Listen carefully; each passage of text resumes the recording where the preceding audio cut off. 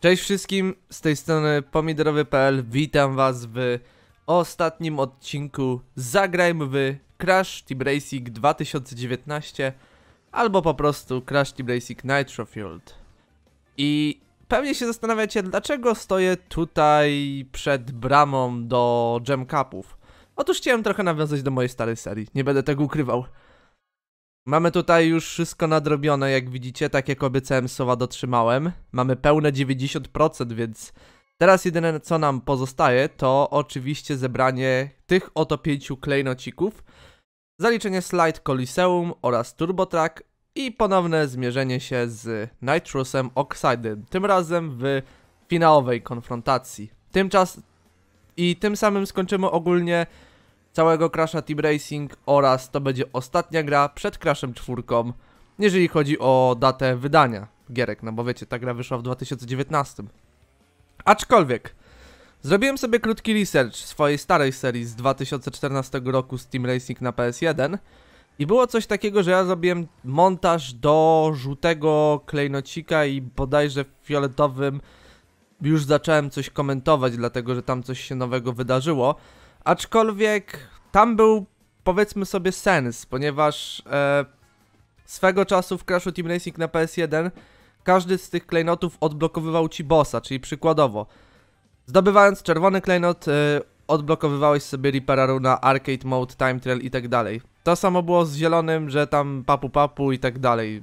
Niebieski to Komodo Joe, a żółty to Pinstripe. Fioletowy z kolei dawał ci Fake Crasha w oryginale. Tutaj natomiast w Nitro Fieldzie jest zrobiony taki system, że po pokonaniu bossa od razu ich odblokowywujesz, że możesz nimi grać. Normalnie w arcade mode i tak dalej. Więc wszystkie 5 klejnotów będzie w montażu i będą to muzyki, które użyłem w 2014 roku, tylko że z aktualnych wersji gier, czyli na przykład mamy tam bodajże, nie wiem, dajmy na to Rings of Power, to użyję Rings of Power z wersji Crasha trójki Insane. I dopiero się wtedy zacznę komentować, w momencie kiedy przejdziemy wszystkie te 5 klejnotów. Tak więc ja się zamykam, a was zapraszam do oglądania. Let's do it!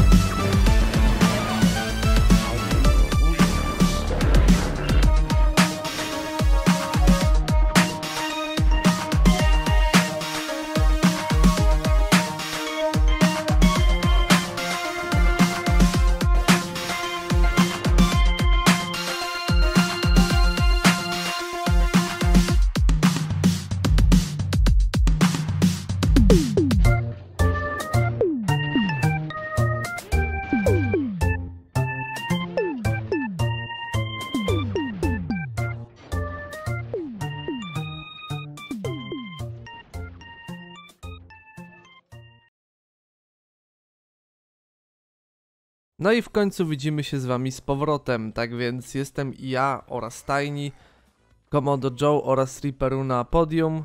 Niestety przegrali swoje własne zawody, Jam Cupy zostały przegrane przez nich. I w taki oto sposób mamy wszystkie 5 klejnotów, więc teraz możemy skupić się na dwóch ostatnich trasach, jakimi są Slide Coliseum oraz Turbo Track. I myślę, że standardowo zaczniemy sobie od Slide Coliseum jako pierwsze, bo czemu by nie. No i mamy Slide Coliseum.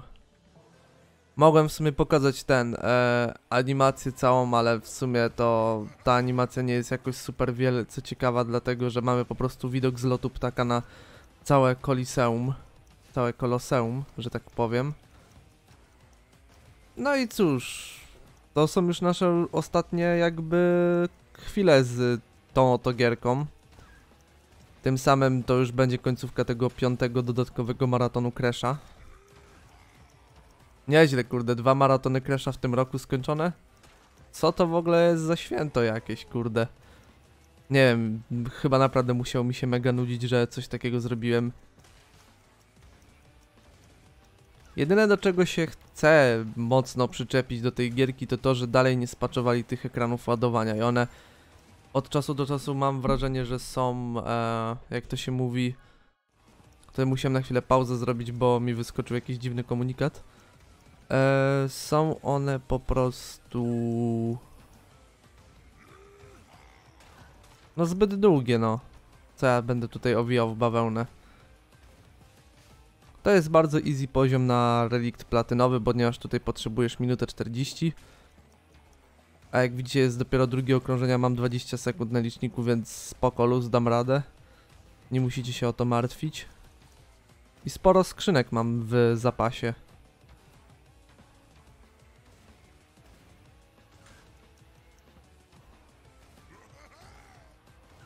Dobra. I teraz final lap. Teraz jedyne co nam tak na dobrą sprawę pozostanie to być może na jakimś tam luźnym live ogramy sobie tego Crasha Boom Bang, bo zauważyłem, że Nero i Zako robią serię z Crasha Basha, a ja powiem szczerze, wolę już oglądać Crasha Basha niż w niego grać. Bo od tamtej chwili, kiedy skończyłem ten let's play na 200% to jakoś nie mam jakiejś wielkiej ochoty na powrót do tej gierki. Mo być może kiedyś, nie mówię, że nie. Ale chcę się trochę wyróżnić z tłumu i znowu ograć jedną z y, gównianych gier z serii. Serio, dziwi, dziwi mnie fakt, że ja chcę tej gierce jeszcze jakąkolwiek atencję dawać. To jest po prostu śmieszne. Dobra, tam jedna skrzynka. Minutę 40, a mam minutę 12, więc to jest i tak ładny wynik. Moim skromnym zdaniem. Easy platynka tutaj jest, więc naprawdę dziwi mnie fakt, jak ktoś może nie zdobyć tutaj platynki, no ale no cóż, mówi się trudno. No. Więc taki oto sposób mamy tajniego Tigera na podium. Coś, co już widzieliśmy tysiące razy dosłownie. I lecimy teraz w sumie na... Turbo Track. No. W taki oto sposób prezentuje się Turbo Track. Jak widzicie jest to dosyć ładnie odświeżona trasa, ładnie odświeżona plansza. No i cóż, Tutaj jest, jest, jest jeszcze prostsza platynka, ponieważ aby zdobyć tutaj platynkę to potrzebujesz czas minuta 19 albo minuta 18, coś takiego. Ale bądźmy sobie szczerzy, to jest jeszcze prostsza platynka ze względu na to, że ta trasa to jest takie jedno wielkie kółko, plus na dodatek jeszcze jak odpowiednio uderzysz odpowiednie skrzynki, to możesz sobie na długo, ale to na bardzo długo czas sobie zatrzymać. I serio, ja to polecam robić. Atakujcie jak największe skrzynki z jak największym czasem. O, na przykład róbcie coś takiego też. To wtedy czas wam na dłużej też się zatrzyma. Jak sami zresztą widzicie, piąta sekunda dalej stoi sobie. Jakoś nie śpieszy jej się odpalać. Więc tym bardziej lecimy z koksem.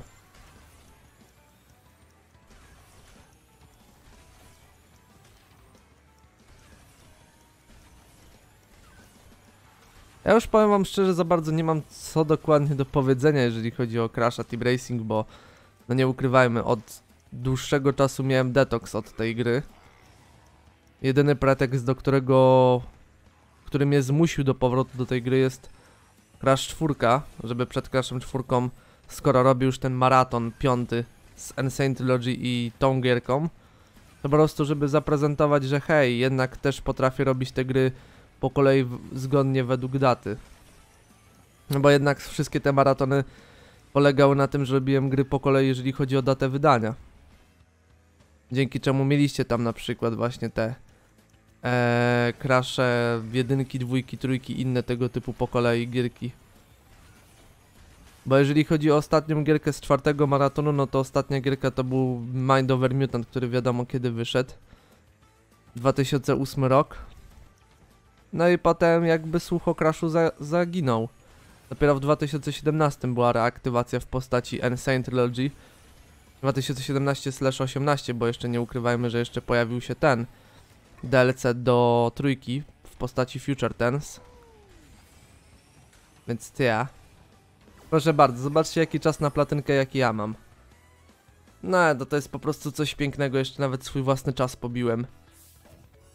Więc teraz zobaczymy, co ciekawego Oxide będzie miał nam do powiedzenia.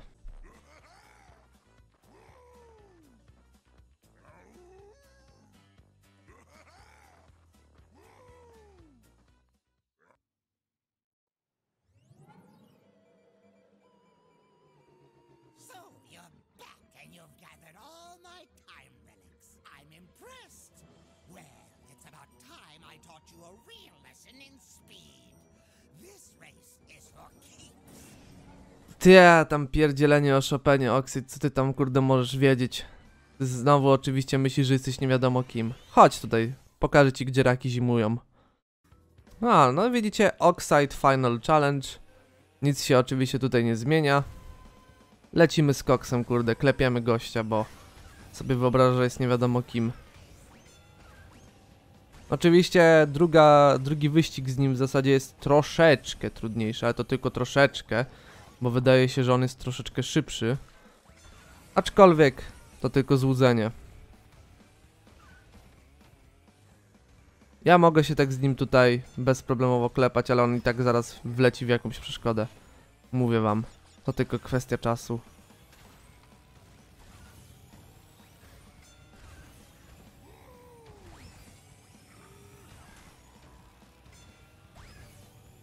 Najlepiej to zawsze te TNT na tych turbopadach zostawić, bo on wtedy jest stuprocentowa pewność, że on wtedy w to wiedzie.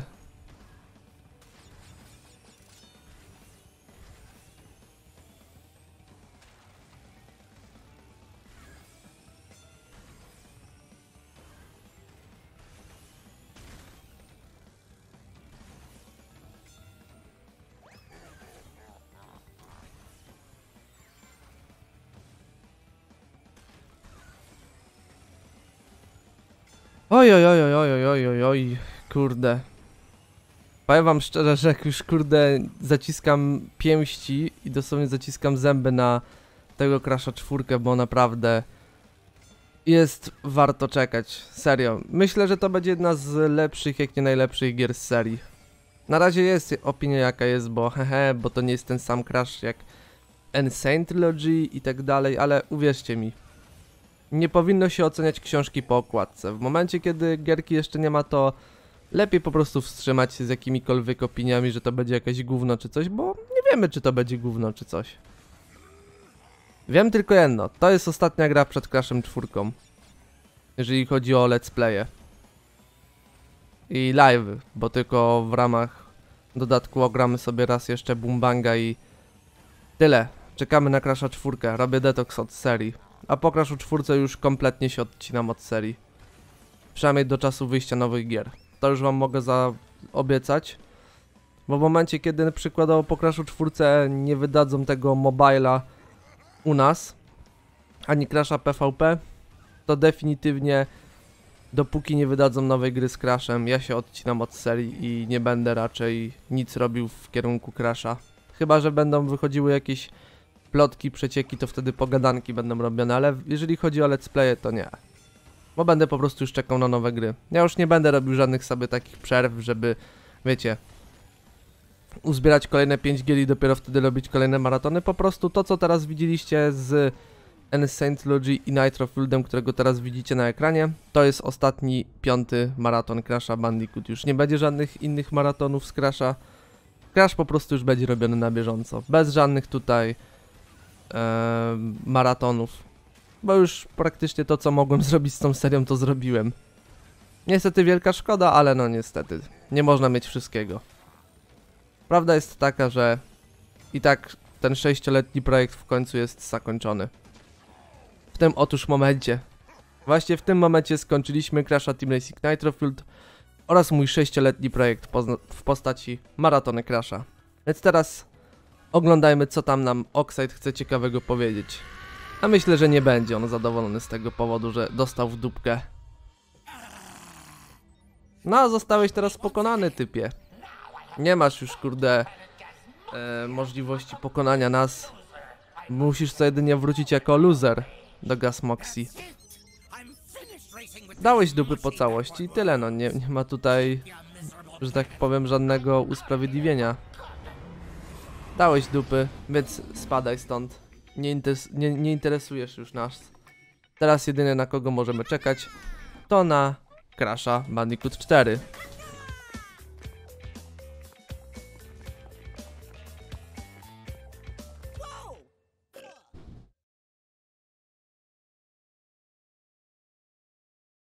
Serio. Jedyne na kogo możemy czekać to teraz na Crash Bandicoot 4 It's About Time. Tak moi drodzy, to był Crash Team Racing Nitro Fueled albo po prostu Crash Team Racing 2019.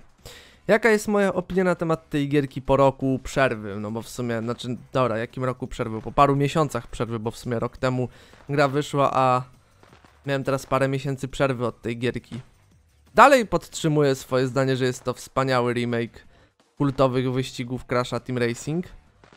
Aczkolwiek ja już jestem przejedzony tą gierką. Nie, nie, nie zrozumcie mnie źle, to nie jest tak, że ja nie mam problemu z zagrywaniem się w takie gry non-stop. Ale chodzi po prostu o to, że ja już tyle robiłem live streamów, ja już robiłem tyle serii z tego Crasha Team Racing, że to był jedyny w zasadzie pretekst, by na chwilę wrócić do tej gierki, żeby zrobić ten piąty maraton Crasha, żeby według daty zgadzało się wszystko, żebyśmy mieli już wszystkie Crashe przed Crashem czwórką ukończone. Czy to odcinkowo, czy to nieodcinkowo, wiecie o co chodzi. Żadnych gier na telefon nie będę robił, to już mogę wam tutaj tu i teraz powiedzieć. Poza oczywiście Crashem on the Run, to żadna inna gierka się nie pojawi na kanale, ponieważ robiłem na temat tamtych gierek materiały. Crash Bandicoot 99X będzie miał swój debiut w postaci materiału, ale nie będę raczej go ogrywał, bo dla mnie ta gra to jest ściek. Nie będę tego ukrywał. I tyle. I tylko tam pozostałe nowe gry już będę robił. Tak więc jeszcze raz, reasumując. Teraz jeżeli chodzi o Crasha robimy sobie przerwę. Może jeszcze Boombanga ogram przed Crashem czwórką, żeby sobie tak na live dla Beki zagrać, aczkolwiek nie obiecuję, że przejdę całość, bo nie widzi mi się to. Może jak będę chciał, to wtedy zobaczymy. Eee, I po, Boom- po Boombang będziemy sobie już czekali na Crasha czwórkę. W międzyczasie może jakaś pogadanka się pojawi, albo materiał o Crashu Bandicoot 99X. Co do maratonów, to to był ostatni maraton Crasha na tym oto kanale i ogólnie. Już nie będę robił żadnych maratonów Crasha, bo wszystkie gierki już zaliczyłem do Crasha 4. Teraz tylko pozostaje czekać na nowe gry i robić je po prostu po kolei już nie czekając, żeby wychodziło ileś tam gierek, tylko po prostu na bieżąco je robić. Tak więc jeżeli ktoś lubił ten cykl na moim kanale te 6 lat temu i do teraz lubił to oglądać, to no niestety z, ze smutkiem tutaj, ze łzami w oczach muszę powiedzieć, że to już jest koniec, jeżeli chodzi o maratony Crasha. 6 lat uporałem się z całą serią.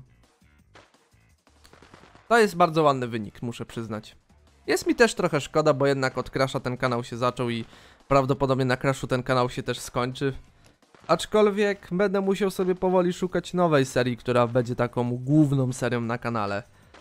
Bo na chwilę obecną to Crash był, ale jak wiecie teraz będę musiał czekać na nowe gry z serii, więc... No niestety... trzeba będzie po prostu uzbroić się w cierpliwość, jeżeli chodzi o nowe gry, bo jakoś nie wierzę w to, że Crash będzie co roku wychodził. Sądzę, że po Crashu czwórce będzie jakaś roczna, może dwuletnia przerwa, przerwa od serii, żeby wydać potem kolejną grę. Tak przynajmniej mi się wydaje, bo raczej w przyszłym roku, czyli w 2021, myślę, że Spyro dostanie tym razem swoją prawowitą czwartą część. A odnośnie Spyro, to myślę, że może w tym roku nagram sobie trójkę. I ogólnie może poza tak trójką i innymi tego typu grami, to zobaczymy co i jak jeszcze będzie. Wow, przegadałem te napisy końcowe chyba. A nie, dobra, tu już się zaczynają znowu.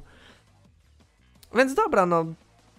To by było na tyle z mojej strony. Mam nadzieję, że ta seria Wam się podobała. Mam nadzieję, że ogólnie byłem informatywny w miarę i w sposób ciekawy prowadziłem let's play. Mam nadzieję, że ogólnie ten cykl maratony Crasha na tym kanale Wam się podobały. Mam nadzieję, że w jakiś sposób, no nie wiem, no komuś sprawiłem radość przez te 6 lat robiąc maratony Crasha, jeżeli chodzi o let's playe. Teraz tylko Crash Boomback na live, maraton z y, Bandicoota 99X. Może jakaś pogadanka o czwórce. I czekamy na czwórkę, a potem po czwórce, dopóki nowa gra nie wyjdzie, zawieszam content crashowy na kanale. Dopóki nowa gra nie wyjdzie po czwórce. Tyle. Dzięki za oglądanie. Trzymajcie się, cześć. I do następnego razu. Elo.